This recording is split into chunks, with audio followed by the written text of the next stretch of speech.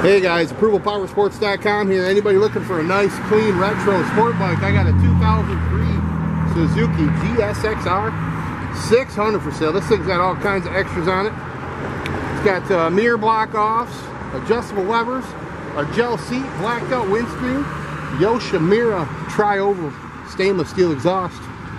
This thing is ready to go. Fender eliminator kit, flush mount front turn signals. Give us a call. We'll get it done. 810 648 9500.